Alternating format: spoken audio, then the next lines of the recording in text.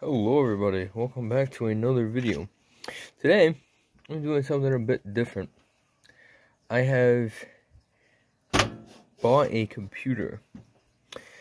Now, this was $70, so I'm going to start with a budget of $200. And I'm going to use that $200 budget to um, essentially see if I can start out with $200 and end up with a PC um, that has a 4090 in it and a 13th generation uh, i7 or i9. I'm going to see if I can be able to trade up to that. This PC I got, it came with an i5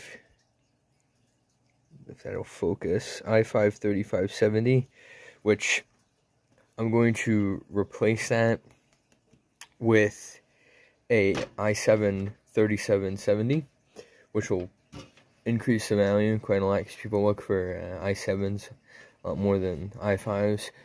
Uh, it has 16 gigabytes of RAM. Uh, 8 gigabytes of that is Samsung, and the other 8 is uh, eight, uh, Corsair Vengeance.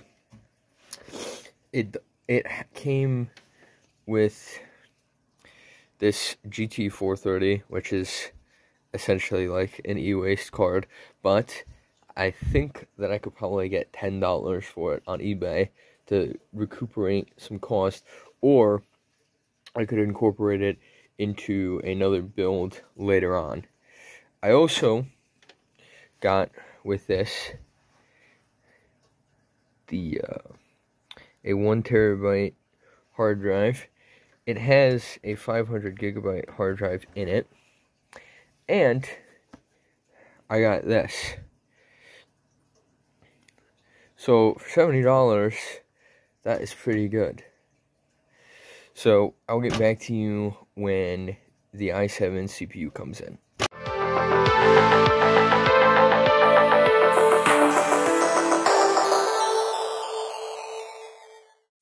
This is the first one. It's got an EVGA um, motherboard. It's pretty old. It's DDR2.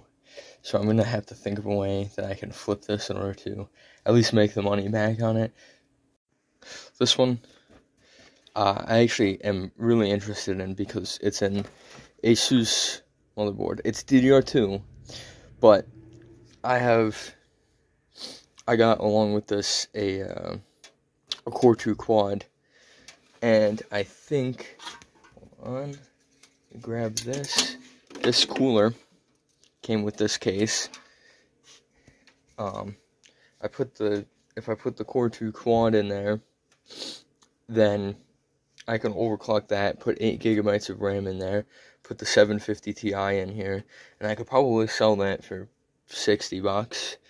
And it's got Wi-Fi too. I think I already said that, but whatever. Um, yeah, that's about it. Oh, and also, hi kitty. The uh, I got this this Dell server motherboard. I don't even know what I'm going to do with this, but it might come in handy down the road. I also have this i5 2400, which is a downgrade from the i5 uh, 3570 that came with this. But I think if I put the 1050 Ti in there with the 16 gigabits of RAM, it really won't make much difference. I could probably get what I paid for this back, $70. So, um,